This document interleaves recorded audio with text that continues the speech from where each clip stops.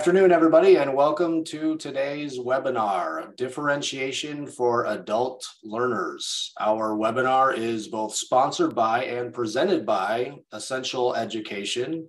And our presenters today are Dan Griffith, he's the president of the Education Division with Essential Education, and Jen Denton, she is the Director of Educational Development please say hello and welcoming them by saying hello from the in the chat box. Let us know where you're calling in from today. If you have questions during the presentation, you can submit those in the Q&A box. And with that, I'll turn it over to them. Thank you. Am I showing the right screen, Jen? Do I have the right screen showing? You are.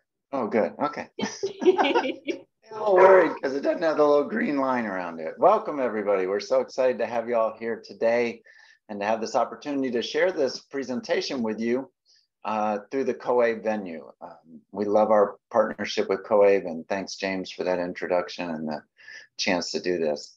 Um, just real quickly, to give you a little frame of reference for what you're gonna see today. So, um, you know, a lot of us have, have learned about differentiation in a variety of uh, formats in the past. Um, maybe some of you have been K-12 teachers, some of you have come in from different uh, types of teaching where you took courses in differentiation. And so our goal today is just first to kind of reintroduce it from an adult ed perspective and give you a little framework for how differentiation maybe differs or is uh, becomes more complex with adult learners. And then secondly, we're going to show you some how-tos. We've got uh, some cool things that we've developed that um, we're going to provide to you that will help you think about how you can greater differentiate instruction in your classroom. And then finally, we're going to give you access to a guide that Jen put together. It's a 65 page guide on differentiating instruction specifically for adult learners. It's totally free. It is a phenomenal guide that gives you templates and tools that you can use day in and day out in the classroom. And ultimately, though, you're going to need to dig into that guide. You're going to have to, I mean, we can't in an hour go through everything that we need to, but you're going to have access to it. Again, it's free and um, you'll be able to really dig in and learn more about things that you can do. And some of these tools that, that Jen developed that will make it easier for you to differentiate on a regular basis. So that's the plan for today, just to give you that frame of reference. And with that, let's go ahead and get started. And I think we're going to turn up our videos. You guys know we're live human beings now. And um, if you have questions or whatever, we'll both be monitoring the chat window and, and do our best when one of us is talking, the other one will be looking at the looking at the chat. So uh, we look forward to that. Make sure you're uh, two button says uh, to everyone and not just hosts and panelists. You want to make sure that everybody can see your comments. All right, with that, Jen, you're off and running. We are. So we wanted just to get everybody kind of on the same page here in the beginning because as Dan mentioned, you know, we've all kind of got different experiences when it comes to differentiation. Um, some of us have dove into the deep end, so to speak, and we've been well versed in tons of different techniques and others of us may be only getting our feet wet in this. So we wanted to start kind of leveling the playing field in this overall definition for differentiation specific to adult learners. So differentiated instruction is then the intentional planning and presentation of instruction to promote the progress and performance. Those, as we know, are two very different things, progress and performance of a diverse group of learners. And we really encourage you as you dig into some of these key words within this definition to realize that this is a rich and a really layered concept because effective differentiation must be intentional with that thoughtful purpose, beginning with that end in mind concept. It does require planning and pre design to get something or someone to accomplish that goal. It involves careful consideration, not only of lesson presentation and delivery, but then the instruction, imparting that information that's being delivered. And educators must take into account that that individual progress or movement, growth, development, or continuous improvement of each student as well as their ability to meet these predetermined standards of academic performance all of this must be accomplished then in a very diverse with a variety of social cultural economic groups a number of people that are related in one way they're adult students but not always because those learners are individuals looking to acquire knowledge and skills that are deeply personal and they have deeply rooted value. So when we look at the differentiated classroom, it's often been described in many informal ways over the years. So Dan's going to take us through a few of those kind of slang terms for differentiated instruction within the adult classroom. Yeah, absolutely. And and some of these might speak to you and some might not. We're interested when we get to the end of the list, if there's one on the list that really kind of um, gives you the mental image of what your classroom has been like or is like. Uh, we often talk about it as a melting pot. You have a lot of different types of uh, individuals in there with different backgrounds. Uh, some people have thought about it as tailored clothes, things that have different parts of them uh, that fit in different ways. Um, a sports team, of course, you know, you have different positions that do different things that have different uh, elements to them, but they all contribute to the team being successful. You can think of your classroom as a family, right? I, I had five kids and no two of them are that much alike. It's, it's strange to think that they all came out of the same parents, but, um, you know, a family has a lot of different blending and, uh, and different attributes to it uh, of course, a community, um, small or, or large, um, a shoe store. I love that example, you know, because you think about all the different types of shoes in a shoe store and, and the different uh, purposes and goals that each shoe has and the way they fit and the sizes and all the different attributes to that. And then uh, I'm not a big jazz fan, but sometimes they talk about it as a jazz ensemble as well. So if one of those really speaks to you as to how you think about your differentiated classroom, your, your group of students that you're working with, uh, throw it in the chat window. We're interested in what kind of rises to the top out of that list for you. Yeah, we've got community popping up a couple of times. Mm -hmm. Yeah, I like shoe store too and families. A shoe store of students. exactly. they all have to walk, but they don't have to walk in the same shoes, right? And it's different sizes and styles. Like mosaic, that's a new one too. Oh, I do like that. And a bouquet, that's a great oh. one too. Oh. Yeah, awesome. Orchestra, great. Salad right. united by the dressing. That's one we haven't heard yet. I think that makes the teacher the dressing. I think so. I think yeah. so. Well, hey, as we dive into differentiation, we always like to start with the why. I, I, do it when I work with students and, and as well as when we do professional development with teachers, because we can take it back to the truth that when we understand why we need to learn something, it, it means more. And it really is because there's a lot of research to support that teaching to the middle just doesn't work.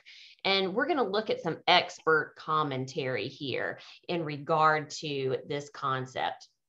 The word differentiation needs to be more than a word, not just something we say to sound smart in meetings.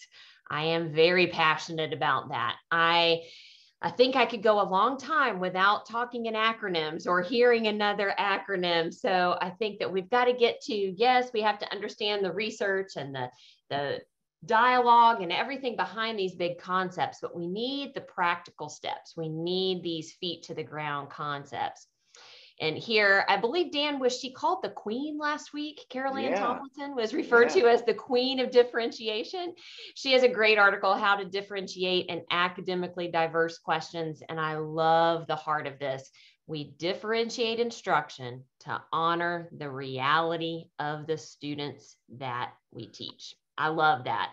To honor the reality, the busy lives, the negative past educational experiences, lack of preparation, the desire to be and do more within that student population.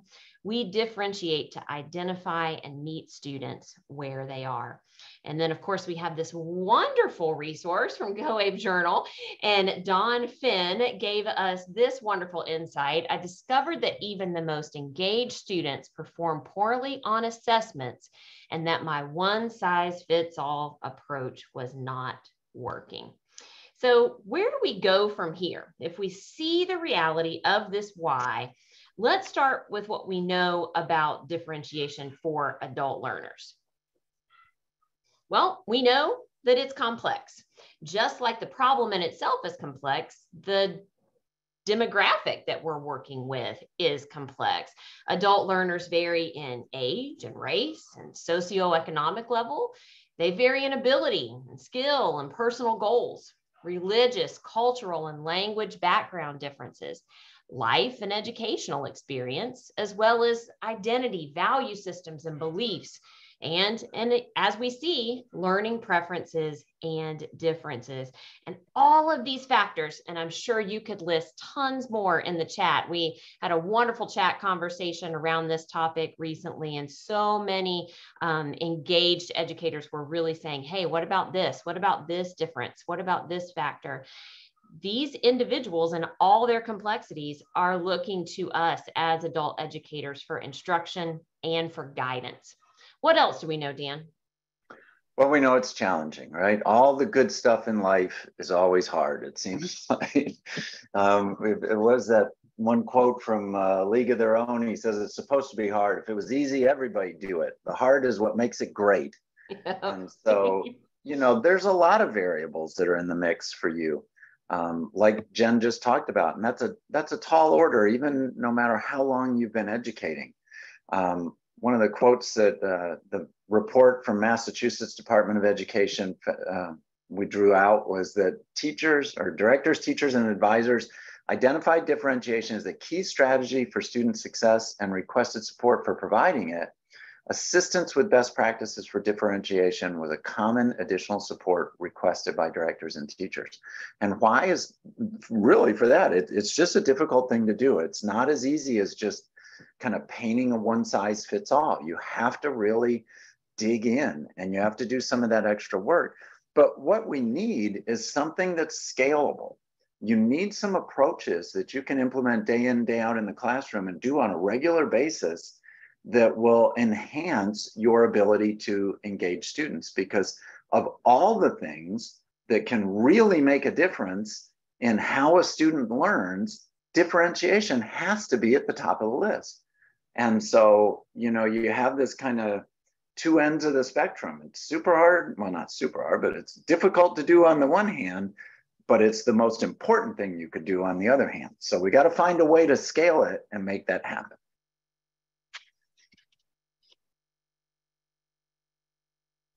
So um, I think this is you, Jen. I think you get to talk about some of the roadblocks. It is. You know, as we look at it, you know, we we don't want to go down this negative path here in the beginning and talk about all the challenges, but as we often realize, we we have to acknowledge those challenges. We have to acknowledge those roadblocks if we want to find ways to move past them you know and that's the sentiment hopefully that we pass on to our students and that we can model that type of perseverance. So let's acknowledge some of the things that are roadblocks to that effective differentiation because they they are abundant. We've got lack of time. We've got inefficient resources or limited access to those differentiated materials. We very often have very little time to collaborate and there's sometimes difficulty in creating those resources, even when we have the time. Many folks have noted that they don't feel like they have effective training in this particular area. And I don't even have to explain the last one teacher tired. Everybody here knows what teacher tired is. We can only extend ourselves so much. And so sometimes it feels like, oh my goodness, it's just one more thing to consider and one more thing to do add one thing that kind of plays on that teacher tired, but for me, it's because I'm getting older. And frankly, I just can't hold as much information, it seems like, in my mind as I used to. You know, you walk to you walk to the next room and you're like, what did I come in here for? I can't I can't remember why I, you know, walked 10 steps for this room. But if you think about differentiation of the instruction that you give. The ideal student to teacher ratio is probably a one to one or one to two. You can make the case that one to one is the best because you have just that absolute, you know, one on one connection. I think you can make a case for one to two. where um, you can have, as a teacher, you can have students do some things together that allow them some cognitive dissonance, some disagreement, some back and forth that maybe you wouldn't get in a one-to-one situation. So I think we can all agree that those are going to be really idealistic situations if you are trying to teach another human being anything. So the question is, as you add more and more students, your ability to hold all of that information that that makes differentiation important you know, if I'm just working one on one with a student, I know their favorite color, I know their favorite food and what sports they like and what their goals are and what they want to do. Maybe at one to two, I can still hold that, maybe three. But at what point do you lose the ability to hold enough information in your head to be nimble on your feet and adjust examples and ideas and content to meet the needs of those students? I'd be curious in the chat window what you think what's kind of the class size where you suddenly say you know what like ideally we, we kind of talked about where's the point where your brain says no one to eight i'm kind of done. That's about as much as i'm probably going to be able to hold uh, information wise. And it'd just be fun to see some of those comments in the chat. Um, yeah five to seven five. Some of you you know maybe it's more maybe it's less um, but it's interesting to think about where that could be uh, in the limit uh, before we start to see a, a, a, demise in the ability to differentiate effectively. And truthfully, you know, if you're teaching, you know, if you're trying to move a lot of students through, sometimes you just don't have that choice of what that number really is. Seeing a lot of 15s, kind of that five to 10 numbers uh, popping out pretty regularly as well. And then you think about your class load and you say, okay, so I need something, I need some tools that can help me get to these numbers that I actually have on a daily basis and uh, and make it work. Anything to add to that, Jen? I just love to see, okay, this is the ideal. I love this one to five. We're seeing anywhere from one to five to I think the highest was 15. Yeah. What's your real class load like?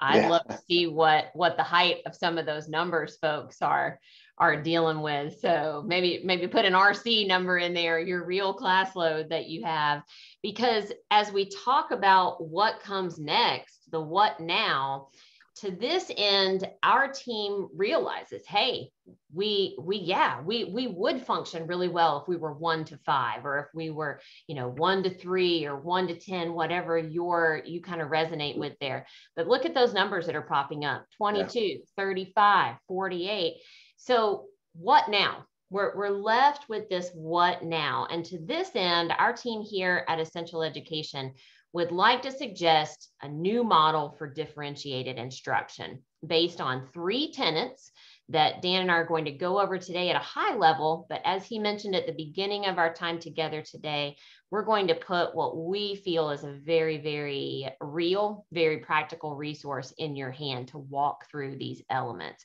So, based on these three tenets, discover, design, and do, we hope to give you a different perspective on differentiation today. Great. So, let's start with discover.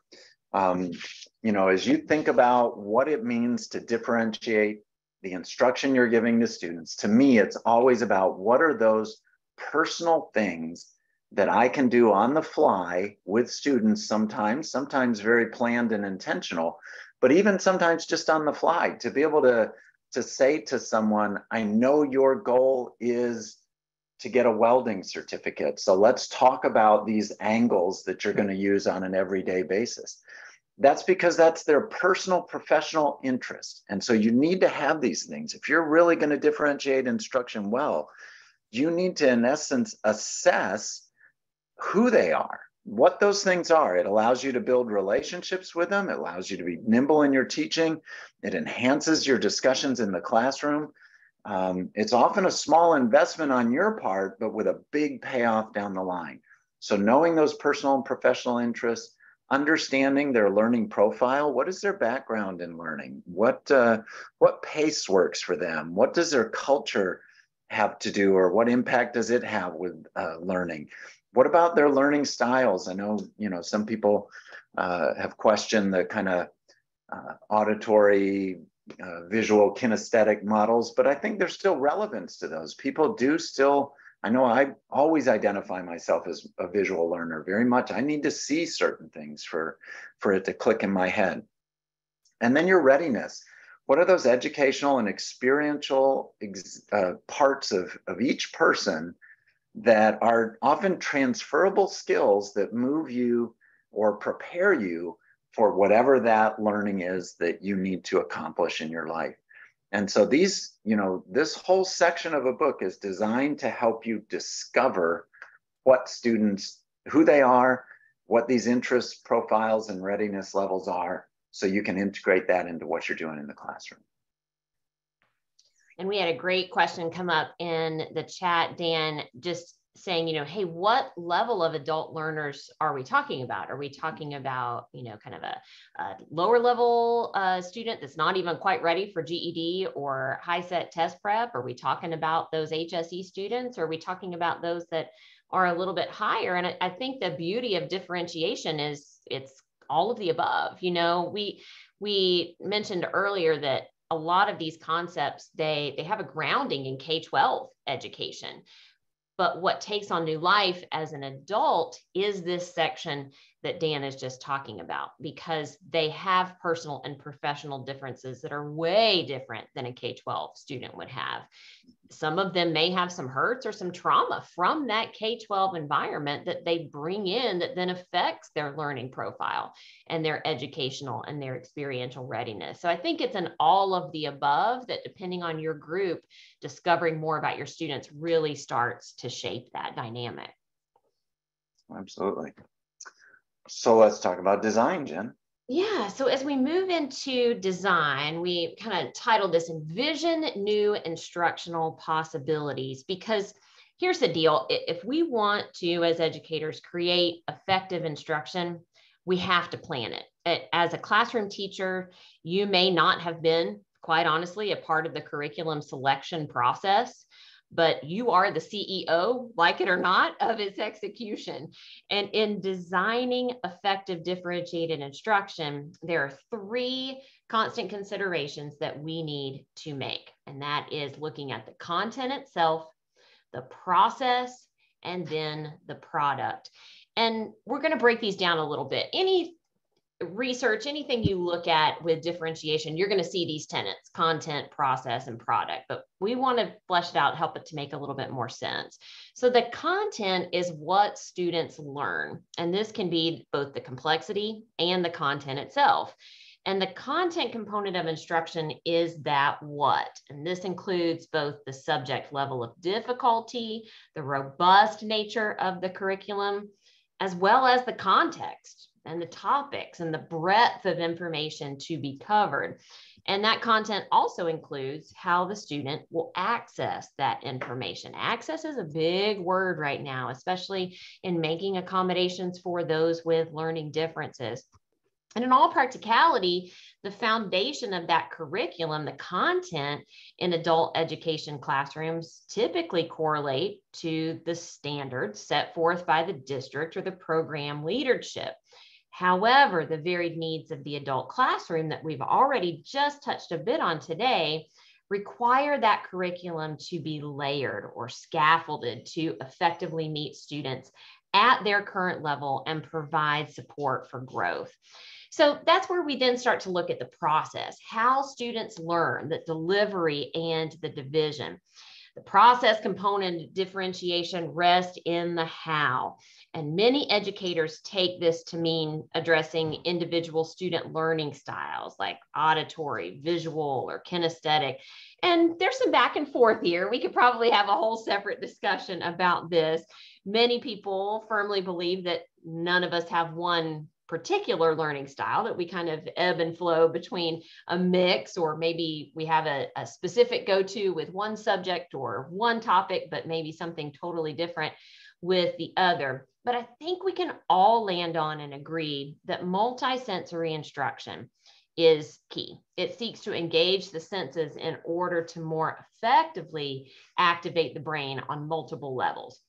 So when designing differentiated instruction, thoughtful educators will try to challenge themselves to find and implement instructional elements that engage those senses over the course of the activity which then brings us to the product, how the students show what they have learned.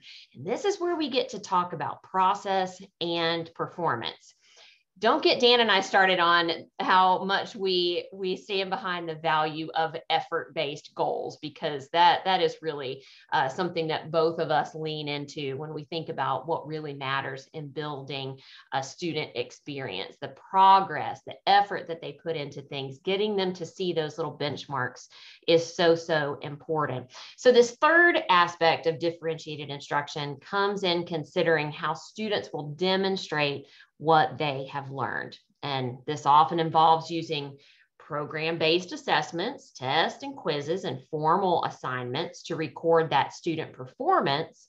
But it also includes finding creative ways to monitor student progress and growth all the time. The ability to evaluate, quantify, and celebrate individual student growth is essential in the ABE classroom. Adult students need to see that their efforts matter. We know this. We know this about adult learners. They need to see the bang for their buck, so to speak. They need to know that the investment that they're making of their time and their energy and their resources is taking them closer to their goals in practical ways. It's often referred to recently as just in time learning versus just in case learning. I don't want to learn something that's really abstract just in case I might need it down the road. I want to learn for just in time so I can use it in a timely manner. And this isn't always adequately, and I would say rarely measured in something as cut and dry as a test score. Awesome. So we've looked at discovering interests, learning profiles, readiness. We've now looked at when you're designing, you need to think through content, process, product. And then when you actually enact your plan, when you go in the classroom and you do, you're going to need to have thought through your materials, your observations, and your feedback. And so this is, you know, typical teaching that you're familiar with, but I think you have to you have to tweak it a little bit if your goal is to differentiate instruction in the end. So your materials oftentimes can change. Maybe you're doing something where you're using different leveled content for different learners in the classroom. Um, there's a great site, many of you I'm sure are familiar with Newsela uh, or Newsela, I'm not sure how you pronounce it, but you can get the same article written at different grade levels. That would be an example of using materials that allow for differentiation. Um, your observations may need to be uh, thought through in advance. What is it that you're trying to measure around your lesson success? And that can come through um, a, a, variety of things. Your observation of how did my lesson go? Was I able to really get to more students? Were they more engaged? And that falls right into feedback as well. If I have students who are still really with blank stares, then maybe my lesson isn't hitting like I want. Um, and maybe maybe your observation there and the feedback you're getting will show you i went into this class of 10 students and you know two days ago i taught a lesson and there were five blank stares. And today there were only two blank stares. That's feedback that shows you the differentiation is impacting what you're doing in the classroom uh, as you're trying to get more and more uh, connected to your students and engage them more and more effectively. So, you know, the do part is really where you have to have a plan, like Jen said, of the intentionality of this in the beginning. Make sure you know what you're looking for as you try some of these techniques and things that we're going to show you relative to differentiation so that you can determine do I stick with this? Is this something I lean into, or is this something I revise and retry on another uh, in another format. Right.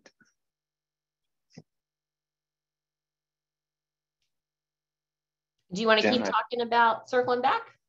No, I think you talk about circling back, don't well, you? Um, I would love to talk about circle back. Maybe it was in that ambiguous area. So circling back is this idea of you know taking that observation, and that feedback a step further because it's one thing to get that feedback on what you're doing, the actual activity, as Dan was saying, you know, the two less blank stares today, which Dan, let's face it, sometimes that's a win.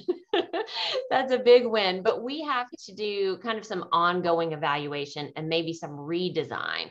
So, you know, we, we refer to it as many people do plan C instruction. You know, your, your plan A is the curriculum and, and all its well-intentioned glory and how it's set up, but then you got to go in and you got to take it apart and make it fit the needs of your classroom. That's plan B.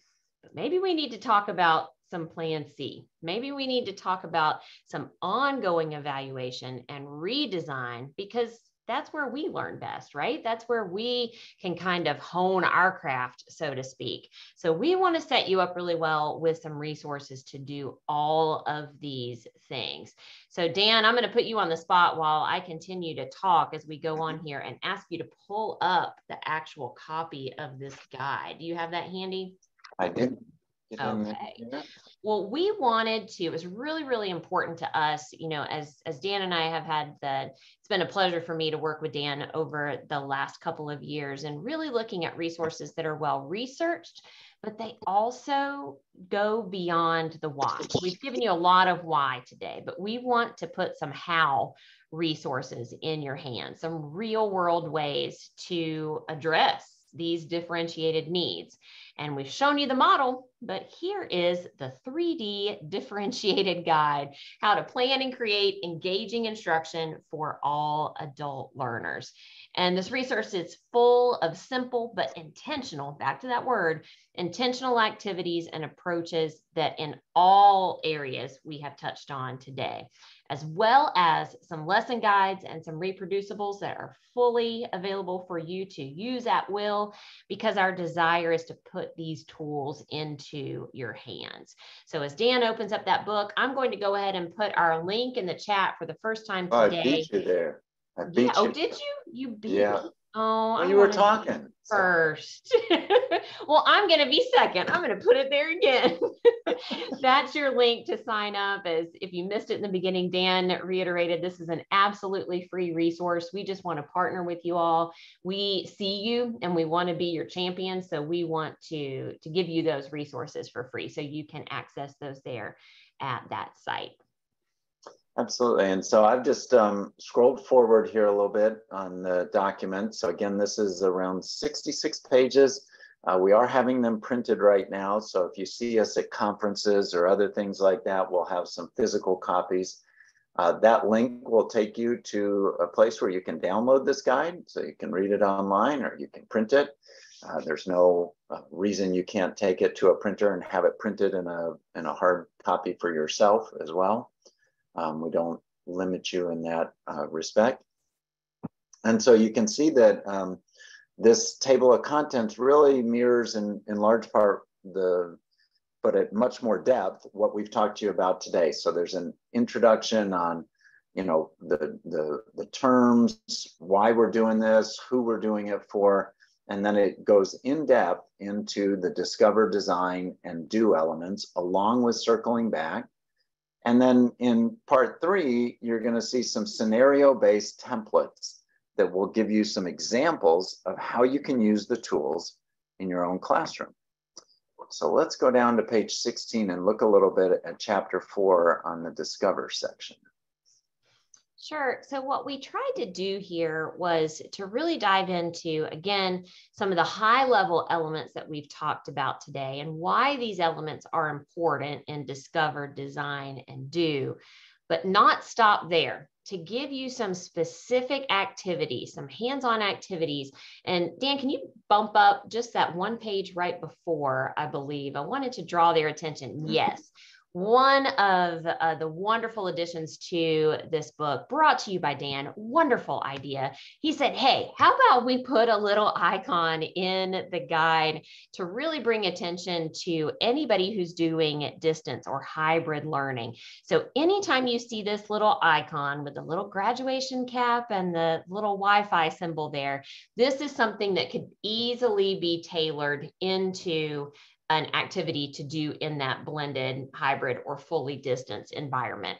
And honestly, a lot of the other activities probably could as well. These were just ones that we knew would be an easy, uh, an easy maneuver there. So we have provided multiple activities in each of these areas as we break them down and you'll see them. Uh, we tried to give them cutesy little, little phrases, finish the sentence, if I wrote the test, be honest, what would you do? All of these different activities that you can do in your class to specifically address some of these strands that are so, so important for differentiated instruction. We've given you several different evaluations. Again, looking at that overall idea of learning styles, but again, then pulling back into that importance of multisensory learning. We've got some things in there specific to those that are working with HSE students, working toward their high school equivalency credential. And we've put all of those things within that uh, discover element as well. As we get into design, then we do the same thing. We talk about, you know, some of the complexities of design, some of that intentionality, and then give you some specific tools to help you lay out that design, whether it be leveling or using tech. And we've given you some reminders along the way. You'll see a little eye icon for a visual learning element, a little ear icon for that auditory learning element, and then that kinesthetic, the hands-on learning element that, you know, we can't always put all of those things into everything that we do, but as much as we can, let's just always put that reminder, um, you know, kind of out there on our radar to try to do that. Um, we we presented this information to our educator team, and one of our educators, Dan, I don't know if you remember this. Uh, she said, "Think alouds are back." And I said, absolutely, think alouds are back. Think alouds really, really are something that are resonating with the emerging generation of Gen Z in that they they want a guide on the side versus a sage on the stage. They want someone who says, Hey, tell me how you do this. I'd like to see it. I'd like to hear it. But then I want to tell you how I do it. And I want to tell you how I would problem solve this. So think alouds really, really can be a strong instructional element, but man, are they going to give you some incredible insight back into that discovery element of who your students really are. So let's jump down to this page, I think. Wait a minute, a couple more. There we go. Maybe. yeah, I'm getting so, there. Yeah, so here's where we get to put it into practice. And, you know, still it may seem a little intangible at this point. So we really wanted to break it down again and give you pretty much a lesson plan template to work through all of these different activities. So we've given you the template here. We've given you some reminders of the different steps, some reminders of those different elements of discover, interest, profile, and readiness, noting that very rarely are you going to be able to change up all of those things that if you can that's great but very very unlikely and that's okay. You know sometimes it, it's just it helps us right to narrow down those variables and just focus on one or two things. So as we move through discover and can i have one thing real quick Jen? yeah sure I used to tune carburetors years ago, and they would tell you anytime you were tuning a carburetor that you only change one thing at a time. Mm. And so I would just encourage you there's no rush. You know, you're the, the ideas that are in this guide are meant to help you become better educators and to impact your students. But if you do it very deliberately, if you'll take your time, change something, see what happens, look at how it impacts your your students and you and your efficacy and what you're doing and then try something else. You don't have to you don't have to go from 0 to 100 in you know one day. You can take this very deliberately and work through new things that you try and integrate into your classroom. You'll find it really interesting uh, and a great way for you to actually enjoy your work more too. It's kind of like a detective work. Can I un unlock exactly what's going to um, make the biggest difference for my students? So, as Jen said, these templates have areas for all three of these things, but it doesn't mean you have to do all three of them every time. You may just focus on interest and look at how you can adjust or modify lessons or prepare lessons that would um, that would address the interest aspect of what students are doing. And, and if you do that, more and more you'll develop bags of tricks and, and things that work for you and an understanding of how your style integrates with student style. And, and you'll be a better teacher. I mean, that's the whole goal. You'll become a better teacher. Mm-hmm. Mm-hmm. So we've done the same thing with the design section. So as you're looking at, okay, what is this activity? Now that I've gotten some information about my students, what activity do I want to design based on that? What activity do I want to, to put into play? So we've reminded you again, noting back to different sections of the guide, the importance of content, process, focusing on those sensory elements as well as the product. How are students going to show you what they have learned and then giving you some space to jot that out. Then in the do section, we give you a space as many lesson plans do to note any materials that you need and really jot down some in-class observations as you you see it. There have been several different stages of my my teaching career where I had a clipboard, I think that was permanently attached because there was so much going on that I needed to to jot down. So we've given you a space to do that to get that immediate student feedback. And then of course, after everything's said and done, a space to then say, okay, what what did I glean out of this? What are some considerations that I need to make if I if I want to do this activity again? What can I do to make it better? Somebody wrote there, you know, perfecting your teaching technique there in the chat. That's that's what this is all about, right? These mm-hmm. small little changes and just getting better today than we were yesterday. So this is the format that is all contained within the 3D differentiated instruction plan. And we didn't want to stop there. we wanted to give you three different set scenarios, uh, talking through, hey, this is what I'm dealing with in my classroom. This is an example. What would that look like as I built that out in the differentiated plan? So this first one just sets up this idea that you're teaching a group of adult students preparing for their high school equivalency exam.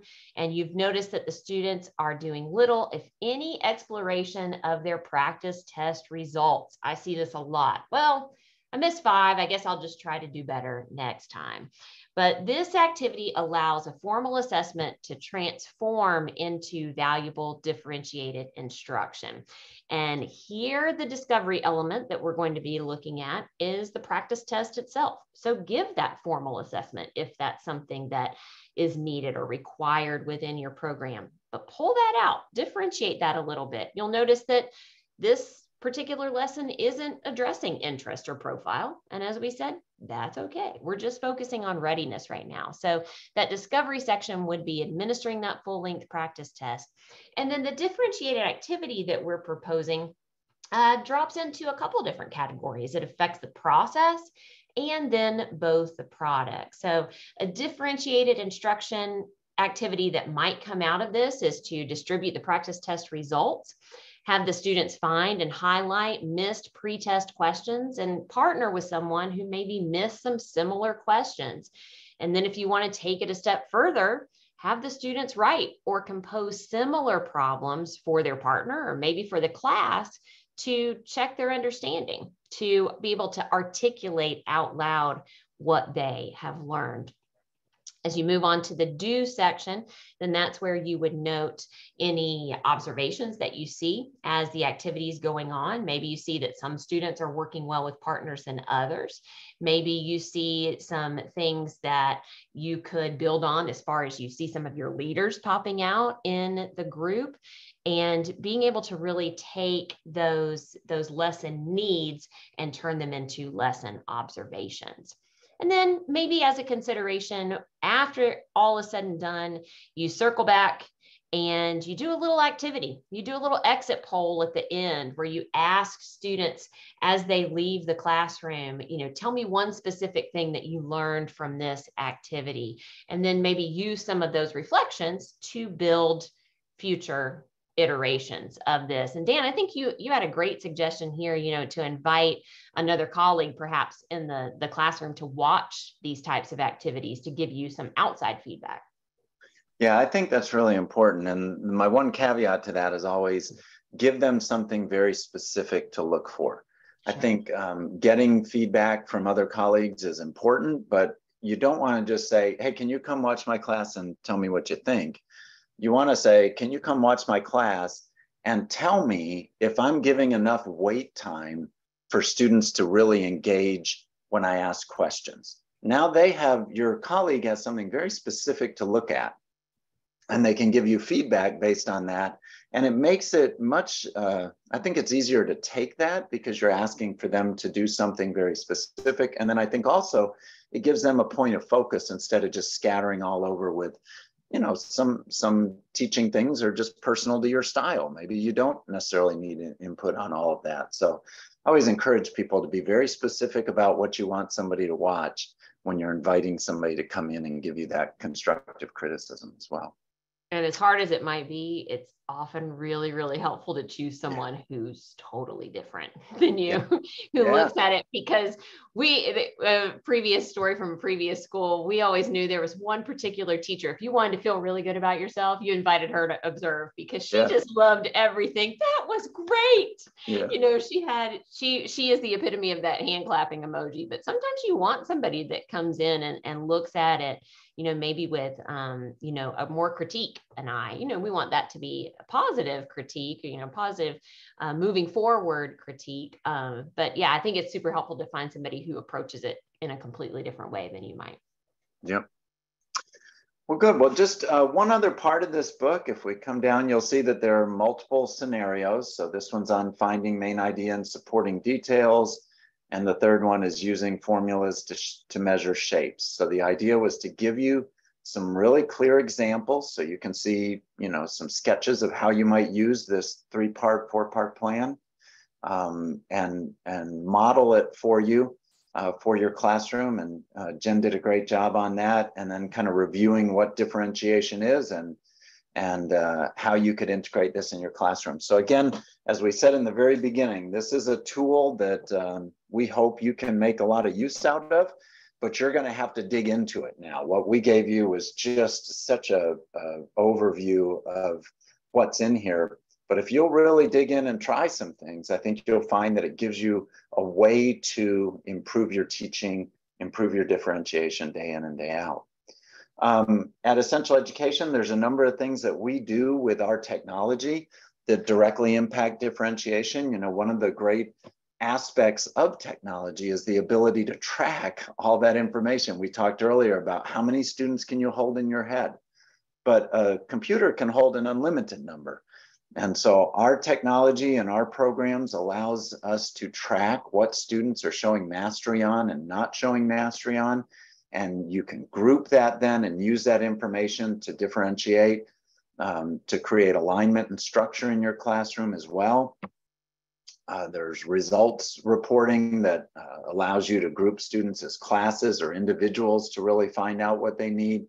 So there's a lot of things that we've built into uh, our technology that are really designed specifically for differentiation. And at the back of this guide, so we gave you a little bit about that. We also gave you kind of a curriculum evaluation guide. As you're looking at curriculum that you want to use, and I saw a lot of comments earlier about workbooks and textbooks and things that you need. Um, this is a this is a, a, a nice guide to thinking through how your curriculum can support you in differentiation. Um, a publisher like us has part of a role and you have part of a role. We have to deliver quality content. It should be interactive, something that engages the students, and it should be effective, you know, and, and the training that we provide you in using it should be effective. Your role should be to define your objectives. What is it you want your curriculum to do? Um, somebody mentioned earlier about wanting more repetition. sometimes that's an absolutely valuable technique is repeating something enough to really understand and learn it and, and manage that process of what you're trying to get someone to accomplish. Other times you need something that's really more focused on the concept so that the concept can be applied in a variety of formats. But you have to define that. You need to know what your objectives are in the curriculum you're looking at. You need to understand how you're going to implement it. What are your goals? Is it for everybody? Is it for just a few students? And then you need to do the work to learn whatever that curriculum is and how it's input. So we we provide you kind of a five-step plan here, a little checklist, so you can look at questions that will help you understand whether or not um, the programs are set up to differentiate instruction. And then we also identify in the back of the guide some of the key resources that we've developed for you. These are all free of charge as well. We have our measurable skill gains accelerators. Uh, those are great tools for pacing guides to help students make uh, MSGs. Uh, we have a full guide on distance education, implementing distance education. We do live webinars that are training and professional development all the time uh, through Essential Education. When you sign up for that uh, guide that we put the link in the chat, you'll get added to our list and, and you can unsubscribe if you want. Otherwise, you're going to get uh, notifications when we do these professional development webinars. These are not meant to be sales presentations. We're really trying to provide you uh, tools and, and support that will help you in the classroom. So all of that's embedded in the book. And uh, hopefully as you work through it, you'll find uh, pieces that you can integrate into your classroom and uh, use successfully uh, day in and day out to help your students move forward and progress. And I just want to say a personal thanks to Jen because she did so much work on this guide to create it, to research it, to put it together, to design how it would work together. And I think when you look for tools as a teacher that you can use in a scalable way in your classroom, I think you're going to find a lot of great stuff in here. So thanks, Jen, for all the hard work you did in, in putting this together. Thank you for the collaboration and the support. It's so nice to be a part of a team that that really sees our students and that really sees the educators that stand in the gap for those students. And um, we we don't want to come alongside you with more high level, as my grandma would say, hoity toity concepts, although there's value in that as well. We really want to put the tools in your hands, and um, we're very passionate about doing that. So I'll give you a little plug for our December session that we have coming up, our Tuesdays with Essential Education. We're really going to dig into what it looks like to move from just giving your students examples of content in the classroom to truly giving them exemplary models and differentiation will be a huge factor within that as well. Absolutely. Yeah, um, a couple people had asked about resources from Essential Ed. If you go to essentialed.com slash educators, uh, you can review all of our different uh, tools and services and products up there. And we're glad to set up time to meet with anyone to show them through more of that. Um, there's also a bunch of other uh, guides on there that you can, as I said, free resources that you can download. Uh, we look forward to working with you in any any manner of ways that you allow us the honor to do that. And we thank you again for just the great work you do day in and day out. Uh, I always say, as you work with students, you are literally creating a legacy of change in the communities you work with. As, as an individual changes, it impacts their families, their friends, their communities. And that's what really brings us together and, and helps us move forward as a people. And you do a great job, oftentimes not given near the credit you deserve, but uh, we thank you for everything you do and hope you find these things useful. Thank you very much. James, I guess we toss it back to you for a co-ed close. All right, Dan and Jen, that was an awesome presentation. Um, fantastic. I don't know what else I could say, but I really enjoyed listening to it from behind the scenes. Um, I want to thank you again. Thank you, Essential Education, for uh, hosting this for us. I want to thank everybody for joining us today. Uh, a replay of this, if you didn't get a chance to join us, uh, will be hosted on uh, coabe.org within 24 hours of the completion of today's webinar. So you can access it again there if you want to watch it again. Um, and with that, I hope everybody has a great rest of the week, great day, and uh, until next time, thank you very much.